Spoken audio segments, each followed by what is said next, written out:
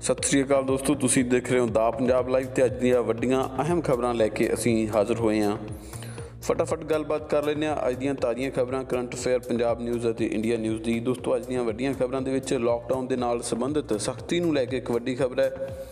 ਇਸ ਤੋਂ ਇਲਾਵਾ ਅੱਜ ਦੇ ਬੁਲੇਟਿਨ ਦੇ ਵਿੱਚ ਆਪਾਂ ਸਾਂਝ ਪਾਵਾਂਗੇ ਕਿ 20 ਅਪ੍ਰੈਲ ਤੋਂ ਕਿਹੜੀਆਂ ਚੀਜ਼ਾਂ ਦੇ ਵਿੱਚ ਛੋਟ ਮਿਲਣੀ ਹੈ ਤੇ ਕਿਹੜੇ ਇਲਾਕਿਆਂ ਦੇ ਵਿੱਚ ਮਿਲਣੀ ਹੈ। ਕਿਹੜੇ ਇਲਾਕਿਆਂ ਦੇ ਵਿੱਚ ਬਿਲਕੁਲ ਵੀ ਛੂਟ ਨਹੀਂ ਮਿਲਣੀ, ਇਹਦੇ ਬਾਰੇ ਆਪਾਂ ਪੂਰੀ ਗੱਲਬਾਤ ਅੱਜ ਦੇ ਇਸ ਬੁਲੇਟਿਨ ਦੇ ਵਿੱਚ ਸਾਂਝੀ ਕਰਾਂਗੇ। ਇਸ ਤੋਂ ਇਲਾਵਾ ਦੋਸਤੋ, ਕਰੋਨਾ ਦੇ ਬਾਰੇ ਇੱਕ ਨਵਾਂ ਅਪਡੇਟ ਹੈ। ਉਹ ਸਾਰੀ ਅੱਜ ਜਿਹੜੀ ਰਿਪੋਰਟ ਹੈ ਤੁਹਾਡੇ ਨਾਲ ਇਸ ਬੁਲੇਟਿਨ ਦੇ ਵਿੱਚ ਸਾਂਝੀ ਕਰਾਂਗੇ। ਇਸ ਤੋਂ ਇਲਾਵਾ ਪੰਜਾਬ ਵਿੱਚ ਸਰਕਾਰੀ ਭਰਤੀ, ਸਰਕਾਰੀ ਜੌਬ ਦੀ ਭਰਤੀ ਸੰਬੰਧੀ ਇੱਕ ਅਹਿਮ ਖਬਰ ਹੈ। 5 ਮਈ ਤੱਕ ਉਹ ਭਰਤੀ ਹੈ, ਉਹਦੇ ਬਾਰੇ ਪੂਰੀ ਰਿਪੋਰਟ ਅਸੀਂ ਸਾਂਝੀ ਕਰਾਂਗੇ। ਇਸ ਤੋਂ ਇਲਾਵਾ ਇਹ ਵੀ ਦੱਸਾਂਗੇ ਕਿ ਪੰਜਾਬ ਦੇ ਕਿਹੜੇ ਇੱਕ ਜ਼ਿਲ੍ਹੇ ਦੇ ਵਿੱਚ ਘਰਾਂ ਚੋਂ ਸਿੱਧੀ ਹੀ ਕਿਸਾਨਾਂ ਦੀ ਕਣਕ ਤੋਲੀ ਜਾਵੇਗੀ? ਨਹੀਂ ਜਾਣਾ ਪਵੇਗਾ ਕਿਸੇ ਵੀ ਦਾਣਾ ਮੰਡੀ ਦੇ ਵਿੱਚ। ਤੇ ਇਸ ਦੇ ਨਾਲ ਕੁਝ ਹੋਰ ਅਹਿਮ ਖਬਰਾਂ ਵੀ ਅਸੀਂ ਅੱਜ ਦੇ ਇਸ ਬੁਲੇਟਿਨ ਦੇ ਵਿੱਚ ਸਾਂਝੀਆਂ ਕਰਾਂਗੇ ਪਰ ਉਸ ਤੋਂ ਪਹਿਲਾਂ ਇੱਕ ਬੇਨਤੀ ਕਰਦੇ ਹਾਂ ਕਿ ਚੈਨਲ ਨੂੰ ਸਬਸਕ੍ਰਾਈਬ ਕਰ ਦਿਓ ਚੱਲਦੀ ਵੀਡੀਓ ਨੂੰ ਲਾਈਕ ਕਰ ਦਿਓ। ਤੇ ਖਬਰਾਂ ਦੀ ਸਾਂਝ ਪਾਉਂਦਿਆਂ ਹੋਇਆ ਆਪਾਂ ਸਭ ਤੋਂ ਪਹਿਲੀ ਗੱਲਬਾਤ ਕਰ ਲੈਂਦੇ ਹਾਂ ਕਰੋਨਾ ਦੀ ਅਪਡੇਟ ਦੇ ਬਾਰੇ। ਹੁਣ ਤੱਕ ਭਾਰਤ ਦੇ ਵਿੱਚ 16000 ਕੇਸ ਜਿਹੜੇ ਨੇ ਕਨਫਰਮ ਹੋ ਚੁੱਕੇ ਨੇ 507 ਅ, ਜਿਹੜੀਆਂ ਮੌਤਾਂ ਹੋਣ ਦੀ ਖਬਰ ਹੈ ਤਾਜ਼ਾ ਅਪਡੇਟ ਹੁਣ ਤੱਕ ਸਾਡੇ ਕੋਲੇ ਪ੍ਰਾਪਤ ਹੋਈ ਹੈ। ਪੂਰੇ ਵਿਸ਼ਵ ਦੀ ਗੱਲ ਕਰੀਏ ਤਾਂ ਇਹ ਸੰਖਿਆ 23,47,875 ਹੈ ਜਿਹੜੇ ਲੋਕ ਕਰੋਨਾ ਦੇ ਨਾਲ ਸੰਕਰਮਿਤ ਨੇ ਤੇ ਮੌਤਾਂ ਦੀ ਗੱਲ ਕਰੀਏ ਤਾਂ 1,62,000 ਦੇ ਕਰੀਬ ਪੂਰੀ ਦੁਨੀਆ ਦੇ ਵਿੱਚ ਮੌਤਾਂ ਹੋ ਚੁੱਕੀਆਂ ਨੇ। ਸਰਕਾਰੀ ਅੰਕੜਿਆਂ ਦੇ ਮੁਤਾਬਕ ਜੇਕਰ ਪੰਜਾਬ ਦੇ ਕਨਫਰਮ ਕੇਸਾਂ ਦੀ ਗੱਲ ਕਰੀਏ ਤਾਂ ਹੁਣ ਤੱਕ 236 ਕਨਫਰਮ ਕੇਸ ਨੇ 15 ਮੌਤਾਂ ਸਰਕਾਰੀ ਵੇਰਵਿਆਂ ਦੇ ਅਨੁਸਾਰ ਨੇ ਤੇ ਜਿਹੜੇ ਠੀਕ ਹੋ ਕੇ ਵਾਪਸ ਘਰਾਂ ਨੂੰ ਪਰਤ ਗਏ ਨੇ ਉਹ ਲੋਕਾਂ ਦੀ ਗਿਣਤੀ 35 ਹੈ।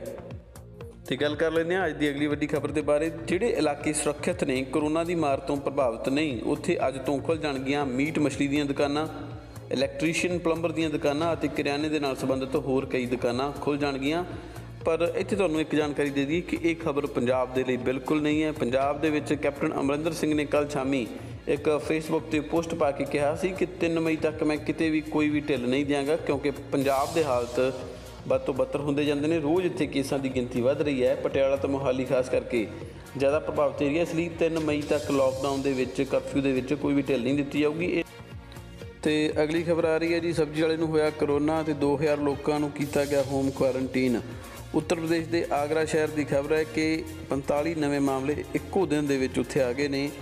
ਦੱਸਣਯੋਗ ਹੈ ਕਿ ਆਗਰਾ ਤੋਂ ਜਿਹੜੀ ਖਬਰ ਮਿਲੀ ਹੈ, ਉਸ ਦੇ ਮੁਤਾਬਕ ਚਮਨ ਲਾਲ ਇੱਕ ਸਬਜ਼ੀ ਵੇਚਣ ਵਾਲਾ ਸੀ ਜਿਹਦਾ ਕਿ ਕਰੋਨਾ ਪੋਜ਼ਿਟਿਵ ਆਇਆ ਉਹਦਾ ਟੈਸਟ ਇਸ ਟੈਸਟ ਤੋਂ ਬਾਅਦ 2000 ਤੋਂ ਵੱਧ ਲੋਕਾਂ ਨੂੰ ਹੋਮ ਕੁਆਰੰਟਾਈਨ ਕਰ ਦਿੱਤਾ ਗਿਆ ਕਿਉਂਕਿ ਉਹ ਕਾਫੀ ਲੋਕਾਂ ਦੇ ਕੰਟੈਕਟ ਵਿੱਚ ਆਇਆ ਸੀਗਾ। ਉਹਨੇ ਸਬਜ਼ੀ ਵੇਚੀ ਸੀ। ਸਬਜ਼ੀ ਵੇਚਣ ਤੋਂ ਪਹਿਲਾਂ ਉਹ ਆਟੋ ਚਲਾਉਂਦਾ ਹੈ ਤੇ ਇਸ ਕਰਕੇ ਇੰਨੇ ਲੋਕਾਂ ਦੀ ਜਿਹੜੀ ਆ ਸ਼ਾਮਤ ਆ ਗਈ ਹੈ ਇੰਨੇ ਲੋਕਾਂ ਦਾ ਪੱਠਾ ਬਿਠ- ਬਿਠਾਉਣ ਦੇ ਵਿੱਚ ਇਸ ਬੰਦੇ ਦਾ ਹੱਥ ਰਿਹਾ ਹੈ। ਇੰਟੈਲੀਜੈਂਸ ਦੀ ਰਿਪੋਰਟ ਦੇ ਮੁਤਾਬਕ ਲਾਕਡਾਊਨ ਦਾ ਸਹੀ ਪਾਲਣ ਨਹੀਂ ਹੋ ਰਿਹਾ।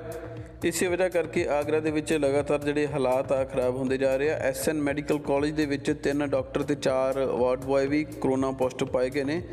ਉੱਥੇ ਹੀ ਇਸ ਵਾਰਡ ਬॉय ਦੇ ਜ਼ਰੀਏ ਪੰਜ ਹੋਰ ਲੋਕ ਪੀੜਤ ਹੋਏ ਨੇ। ਇਸ ਕਰਕੇ ਜਿਹੜੀ ਆਗਰਾ ਯੂਪੀ ਦਾ ਸ਼ਹਿਰ ਆਗਰਾ, ਉੱਥੇ ਹਾਲਾਤ ਬਦ ਤੋਂ ਬੱਤਰ ਹੋ ਰਹੇ ਨੇ।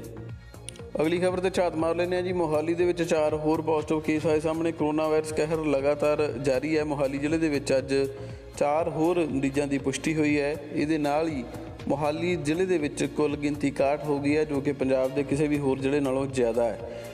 ਪੰਜਾਬ ਦੇ ਟੋਟਲ ਕੇਸਾਂ ਚੋਂ ਲਗਭਗ 40% ਕੇਸ ਇਕੱਲੇ ਮੋਹਾਲੀ ਸ਼ਹਿਰ ਦੇ ਨੇ।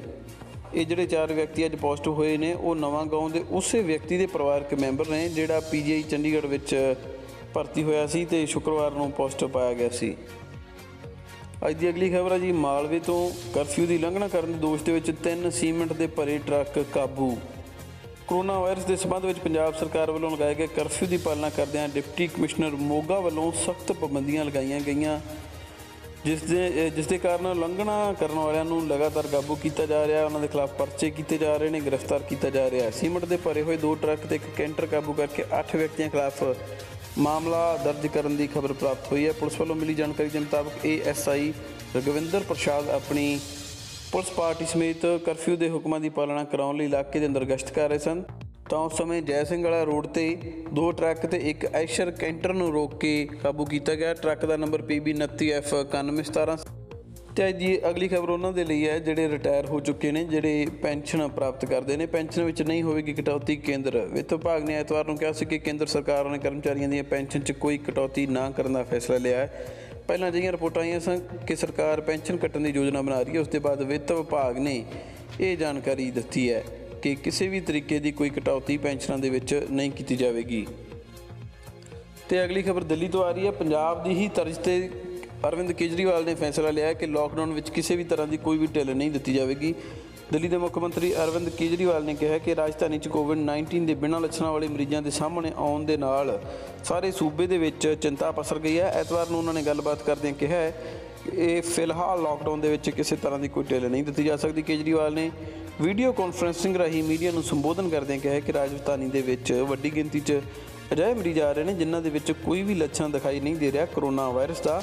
ਇਸ ਕਰਕੇ ਲਾਕਡਾਊਨ ਨੂੰ ਜਾਰੀ ਰੱਖਣ ਦੀ ਯੋਜਨਾ ਬਣਾਈ ਗਈ ਹੈ। ਕਿਸੇ ਤਰੀਕੇ ਦੀ ਕੋਈ ਵੀ ਢਿੱਲ ਨਹੀਂ ਦਿੱਤੀ ਜਾਵੇਗੀ। ਤੁਹਾਨੂੰ ਦੱਸ ਦਈਏ ਕਿ ਪੰਜਾਬ ਨੇ ਵੀ ਇਹ ਫੈਸਲਾ ਕੀਤਾ ਕਿ 3 ਮਈ ਤੱਕ ਬਿਲਕੁਲ ਜਿਸ ਤਰ੍ਹਾਂ ਹੁਣ ਚੱਲ ਰਿਹਾ ਸੀ ਕਰਫਿਊ ਲਾਕਡਾਊਨ ਉਸੇ ਤਰੀਕੇ ਨਾਲ ਬਰਕਰਾਰ ਰੱਖਿਆ ਜਾਵੇਗਾ। ਤੇ ਇਸੇ ਤਰ੍ਹਾਂ ਤੇ ਹੀ ਅਰਵਿੰਦ ਕੇਜਰੀਵਾਲ, ਮੁੱਖ ਮੰਤਰੀ ਦਿੱਲੀ ਨੇ ਵੀ ਸੇਮ ਡਿਸੀਜਨ ਲਿਆ ਹੈ। ਤੇ ਅਗਲੀ ਖਬਰ ਆ ਰਹੀ ਹੈ ਜੀ। ਮੁਹਾਲੀ ਅਤੇ ਚੰਡੀਗੜ੍ਹ ਦੇ ਨਾਲ ਲੱਗਦੇ ਸ਼ਹਿਰ ਪੰਚਕੂਲਾ ਤੋਂ ਪੰਚਕੂਲਾ 'ਚ ਇੱਕੋ ਹੀ ਪਰਿਵਾਰ ਦੇ 8 ਮੈਂਬਰ ਕਰੋਨਾ ਪੋਜ਼ਿਟਿਵ ਆਏ ਨੇ। ਇਸ ਤੋਂ ਬਾਅਦ ਹਫੜਾ ਦਫੜੀ ਮਚ ਗਈ। ਪੀਜੀਆਈ ਤੋਂ ਕੱਲ੍ਹ ਉਹਨਾਂ ਦੀ ਰਿਪੋਰਟ ਪੋਜ਼ਿਟਿਵ ਆਉਣ ਤੋਂ ਬਾਅਦ ਇਸ ਗੱਲ ਦੀ ਪੁਸ਼ਟੀ ਹੋਈ ਹੈ। ਹੁਣ ਸੰਭਾਵਨਾ ਇਹ ਹੈ ਕਿ ਇਸ ਪਰਿਵਾਰ ਦੇ ਸੰਪਰਕ 'ਚ ਆਉਣ ਵਾਲੇ ਕਈ ਹੋਰ ਵੀ ਲੋਕ ਹੋਣਗੇ, ਜਿਨ੍ਹਾਂ ਨੂੰ ਕਰੋਨਾ ਪੋਜ਼ਿਟਿਵ ਹੋ ਸਕਦਾ ਹੈ। ਪੰਚਕੂਲਾ ਦੇ ਡੀਸੀ ਮੁਕੇਸ਼ ਅਹੂਜਾ ਨੇ ਬਕਾਇਦਾ ਪੀੜਤਾਂ ਦੇ ਨਾਮ ਦੱਸਦਿਆਂ ਕਿਹਾ ਕਿ ਇਹਨਾਂ ਨੂੰ ਜਨਤਕ ਕਰ ਦਿੱਤਾ ਜਾਵੇ ਤਾਂ ਕਿ ਜਿਹੜੇ ਵੀ ਲੋਕ ਇਹਨਾਂ ਦੇ ਸੰਪਰਕ ਵਿੱਚ ਆਏ ਹੋ, ਹੋਣ, ਉਹਨਾਂ ਨੂੰ ਮਿਲ ਕੇ ਜਾਣਕਾਰੀ ਹਾਸਲ ਕੀਤੀ ਜਾ ਸਕੇ ਕਿ ਉਹਨਾਂ ਦੇ ਵਿੱਚ ਕੋਈ ਲੱਛਣ ਹੈ ਕਿ ਨਹੀਂ। ਜੇ ਨਹੀਂ ਵੀ ਆ, ਤਾਂ ਉਹਨਾਂ ਦੇ ਟੈਸਟ ਕਰਵਾ ਕੇ ਇਸ ਗੱਲ ਦੀ ਪੁਸ਼ਟੀ ਕੀਤੀ ਜਾ ਸਕੇ ਕਿ ਕਿੰਨੇ ਕੁ ਲੋਕਾਂ ਨੂੰ ਖਤਰਾ ਹੈ। ਤੇ ਇੱਕ ਪੈੜੀ ਖਬਰ ਸਾਨੂੰ ਮਜਬੂਰਨ ਸ਼ੇਅਰ ਕਰਨੀ ਪੈ ਰਹੀ ਹੈ ਕਿ 4 ਏਕੜ ਕਣਕ ਸੜ ਕੇ ਹੋਈ ਸੁਆਹ। ਮਹਿਲ ਕਰਾਂ ਤੋਂ ਇਹ ਖਬਰ ਆ ਰਹੀ ਹੈ ਬੇहद ਮਾੜੀ ਖਬਰ ਹੈ ਜੀ, ਕਿਉਂਕਿ ਕਿਸਾਨਾਂ ਨੇ 6-6 ਮਹੀਨਿਆਂ ਦੀ ਮਿਹਨਤ ਕੀਤੀ ਹੁੰਦੀ ਹੈ ਤੇ ਇਹ ਜਿਹੜੀ ਕਿਸੇ ਦੀ ਅਣਗਹਿਲੀ ਕਾਰਨ 10 ਮਿੰਟਾਂ ਦੇ ਵਿੱਚ ਅਗਲੇ ਦੀ 6 ਮਹੀਨਿਆਂ ਦੀ ਮਿਹਨਤ ਤੇ ਪਾਣੀ ਫਿਰ ਜਾਂਦਾ ਹੈ। ਮਹਿਲ ਕਲਾਂ ਦੇ ਨੇੜੇ ਪਿੰਡ ਚੰਨਨ ਵਾਲਾ ਦੀ ਇਹ ਖਬਰ ਹੈ ਚੰਨਨ ਵਾਲਾ ਦੇ ਨਾਲ ਪਿੰਡ ਕਲਾਲਾ ਵਿਖੇ ਅੱਜ ਦੁਪਹਿਰ ਲਗਭਗ 2:30 ਵਜੇ ਦੇ ਕਰੀਬ ਲਗਭਗ 4 ਏਕੜ ਕਣਕ ਸੜ ਕੇ ਸੁਆਹ ਹੋ ਗਈ, ਜਿਸ ਨੂੰ ਆਲੇ ਦੁਆਲੇ ਦੇ ਪਿੰਡਾਂ ਦੇ ਲੋਕਾਂ ਨੇ ਪਾਣੀ ਦੀਆਂ ਟੈਂਕੀਆਂ ਦੇ ਨਾਲ, ਆਪਣੇ ਟਰੈਕਟਰਾਂ ਦੇ ਨਾਲ ਮਦਦ ਨਾਲ ਉਸ ਤੇ ਅੱਗ ਤੇ ਕਾਬੂ ਪਾਇਆ, ਅੱਗ ਬੁਝਾਉਣ ਦੇ ਵਿੱਚ ਸਫਲ ਹੋਏ। ਚੰਨਨ ਵਾਲਾ ਦੇ ਦੋ ਕਿਸਾਨ ਗੁਰਜੰਟ ਸਿੰਘ, ਪੁੱਤਰ ਕਰਨੈਲ ਸਿੰਘ ਤੇ ਗੁਰਜੰਟ ਸਿੰਘ, ਪੁੱਤਰ ਗੱਜਰ ਸਿੰਘ ਦੀ ਦੱਸੀ ਜਾ ਰਹੀ ਹੈ ਇਹ ਕਣਕ। ਤੇ ਅੱਜ ਦੀ ਅਗਲੀ ਖਬਰ ਹੈ ਜੀ, ਪੰਜਾਬ ਸਰਕਾਰ ਵੱਲੋਂ ਸਾਰੇ ਸਟੇਟ ਟੋਲ ਪਲਾਜ਼ਾ 3 ਮਈ ਤੱਕ ਰਹਿਣਗੇ ਬੰਦ। ਪੰਜਾਬ ਦੇ ਲੋਕ ਨਿਰਮਾਣ ਮੰਤਰੀ ਵਿਜੇਂਦਰ ਸਿੰਗਲਾ ਨੇ ਦੱਸਿਆ ਕਿ ਕੈਪਟਨ ਅਮਰਿੰਦਰ ਸਿੰਘ ਦੀ ਅਗਵਾਈ ਵਾਲੀ ਪੰਜਾਬ ਸਰਕਾਰ ਵੱਲੋਂ ਸਾਰੇ ਸਟੇਟ ਟੋਲ ਪਲਾਜ਼ਾ ਦੀ ਉਗਰਾਈ ਦੀ ਮੁਅੱਤਲੀ ਦੀ ਮਿਆਦ 3 ਮਈ ਤੱਕ ਵਧਾ ਦਿੱਤੀ ਗਈ ਹੈ। ਉਹਨਾਂ ਦੱਸਿਆ ਕਿ 27 ਮਾਰਚ ਨੂੰ ਇਸ ਪ੍ਰਕਿਰਿਆ ਨੂੰ ਤਾਲਾਬੰਦੀ ਦੀ ਸੀਮਾ ਤੱਕ ਰੋਕ ਦਿੱਤਾ ਗਿਆ ਸੀ, ਪਰ ਹੁਣ ਟੋਲ ਪਲਾਜ਼ਾ 3 ਮਈ ਤੱਕ ਬੰਦ ਰਹਿਣਗੇ। ਤੇ ਅੱਜ ਦੀ ਅਗਲੀ ਖਬਰ, ਮੋਹਾਲੀ ਦੇ ਡੇਰਾਬੱਸੀ ਹਲਕੇ ਤੋਂ ਆ ਰਹੀ ਹੈ। ਡੇਰਾਬੱਸੀ ਹਲਕੇ ਦੇ ਵਿੱਚ 200 ਦੇ ਕਰੀਬ ਰਹਿੰਗੇ ਸ਼ਰਨਾਰਥੀ।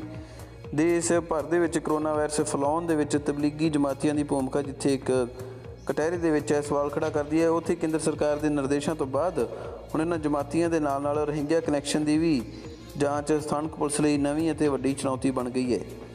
ਇਸ ਦੀ ਵਜ੍ਹਾ ਹਨ ਡੇਰਾਬੱਸੀ ਹਲਕੇ ਦੇ ਵਿੱਚ ਸਭ ਤੋਂ ਜ਼ਿਆਦਾ 200 ਦੇ ਕਰੀਬ ਰੋਹਿੰਗਿਆ ਸ਼ਰਨਾਰਥੀ ਜੋ ਵੱਖ-ਵੱਖ ਟਿ- ਟਿਕਾਣਿਆਂ ਤੇ ਰਹਿ ਰਹੇ ਨੇ।